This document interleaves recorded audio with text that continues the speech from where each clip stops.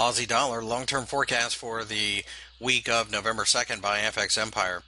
The uh, Aussie dollar, as you can see, fell significantly during the course of the week, testing the 0.70 level for support.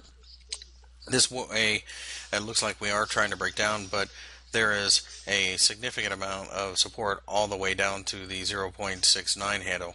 Uh, if we break down below there, it continues the longer term downtrend, but in the meantime, we feel that this market will more than likely bounce. Probably going to be easier to trade off of short term charts, though.